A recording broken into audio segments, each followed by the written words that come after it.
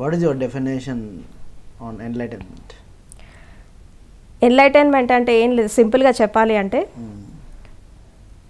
మనిషి first stage దీంట్లో three stages ఉంటాయి ఎన్లైటైన్మెంట్లో కూడా. ఫస్ట్ ఏంటంటే ఆత్మజ్ఞానం సెల్ఫ్ రియలైజేషన్ ఫస్ట్ భగవంతుడు ఎవరో తెలుసుకునే దానికంటే ముందు మనం ఎవరో మనం తెలుసుకోవాలి స్వయాన్ని తెలుసుకోవాలి.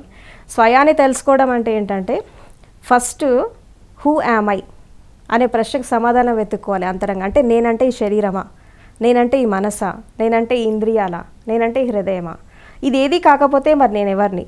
అని చెప్పు ఎప్పుడైతే మనం అంతర్యాత్ర చేస్తామో అప్పుడు ఆటోమేటిక్గా ఒక శూన్య స్థితికి వెళ్ళినప్పుడు శరీరము మనస్సు హృదయం అనేది డిసపియర్ అయిపోతుంది. డిసపియర్ అయిపోయినప్పుడు and then we will realise what is our real nature. మన స్వభావం ఏంటి అనేది మనము తెలుసుకోగలుగుతాం. సో ఎప్పుడైతే ఈ మన స్వభావాన్ని మనం ఎప్పుడైతే అర్థం చేసుకుంటామో అప్పుడు ఏమైపోతుందంటే శరీరం నుంచి బయటికి రావడం జరుగుతుంది. బయటికి వచ్చాక ఏమవుతుందంటే ఈ విశ్వంలో ఒక శక్తి ఉంది. విశ్వంలో ఒక శక్తి ఉంది దాన్ని డివైన్ ఎనర్జీ అంటారు కాస్మిక్ ఎనర్జీ అంటారు. సో ఏమైపోతుందంటే మనకి డైలీ మనం ఆ ఎనర్జీని రిసీవ్ చేసుకుంటూనే ఉంటాము. నిద్రలో కానీ అన్కాన్షియస్గా అది లేకుండా మనం జీవించలేం కాబట్టి రిసీవ్ చేసుకుంటూనే ఉంటాం. బట్ ఎన్లైటన్మెంట్లో ఏమైపోతుందంటే కంప్లీట్గా మనం దాంట్లో మునిగి తేలుతాం ఆ, ఎనర్జీలో ఐ మీన్ డివైన్ ఎనర్జీలో. అంటే ఎట్లా ఉంటుందంటే సింపుల్గా చెప్పాలంటే నీటి బిందువు సముద్రంలో పడింది అనుకోండి నీటి బిందువు యొక్క అస్తిత్వం అనేది ఉండదు. అది కూడా సముద్రం అంతా అయిపోతుంది. అదేవిధంగా మనలో ఉన్నటువంటి కాన్షియస్నెస్ అనేది కాస్మిక్ ఎనర్జీతో ఒకటైపోతే we will become one with the divine and enlightenment అంటే ఏంటంటే ప్రతి వాళ్ళు ఆ యొక్క సోర్స్ని తీసుకొని వస్తారు ప్రతి వ్యక్తి కూడా. కాకపోతే ఈ మనసు అనేది దానికి అడ్డుపడతా ఉంటుంది. ఈ మనసు ఎప్పుడైతే హండ్రెడ్ పర్సెంట్ డిసపియర్ అయిపోతుందో ఎవ్రీబడి ఈజ్ ఎన్లైటెడ్ ఒక విధంగా చెప్పాలంటే ఉపనిషద్ మహావాక్యాల్లో మూడు ఉన్నాయి కదా? అసతోమ సద్గమయ. అసత్యం నుండి సత్యానికి రావాలా? అంధకారం నుంచి వెలుక్కి రావాలి. మృత్యువు నుంచి అమృత తత్వానికి రావాలి.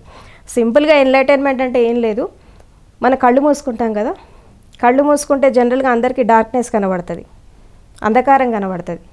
జనరల్గా అంధకారం అంటే అందరూ ఏమనుకుంటారంటే జీవితంలో అంధకారము కష్టాలు నష్టాలు దీని నుంచి బయటపడితే మనం ఒక వెలుగులోకి వస్తాం అనుకుంటారు. కానీ మన కళ్ళ ముందు ఉండేటటువంటి అంధకారాన్ని మనం ఎప్పుడైతే దాటుతామో and we will enter into the light. అంటే భగవంతుడికి మనకి ఒకే ఒక అడ్డుపొర ఏంటి అంటే ఆ అంధకారం. ఈ అంధకారాన్ని ఎప్పుడైతే మనం దాటి వెళ్తామో అంధకారం యూతల ప్రపంచం ఉంటుంది అంధకారం అవతల భగవంతుడు ఉంటాడు. సో ఎప్పుడైతే మనం కళ్ళు మూసుకున్నప్పుడు మనకి ఆ వెలుగు స్వరూపంలో మనం ఎంటర్ కావాలి. అంటే ఒక విధంగా చెప్పాలంటే ఏ పని చేసినా కానీ ప్రతి దాని మీద ఆ లైట్ అనేది పడుతూ ఉంటుంది. వేసే ప్రతి అడుగు చేసే ప్రతి పని జీవితంలో ఆచరించే ప్రతి ఒక్క కర్మ అనేది ఆ డివైన్ ఎనర్జీతో వేయడం జరుగుతుంది. అప్పుడు మనము లేచినా పడుకున్నా ఏం చేసినా కానీ we will become one with the divine that is enlightenment right మీరు ఎప్పుడు ఎన్లైటెండ్ అయ్యారు? ఇప్పుడు ఎన్లైటన్మెంట్ అనేది ఎట్లా ఉంటుందంటే దీంట్లో కూడా స్టేజెస్ ఉంటాయి. ఎన్లైటన్మెంట్లో కూడా స్టేజెస్ ఉంటాయి. నేను సెల్ఫ్ రియలైజేషన్ దాకా వెళ్ళాను. నేను ఎవరో నేను తెలుసుకున్నాను.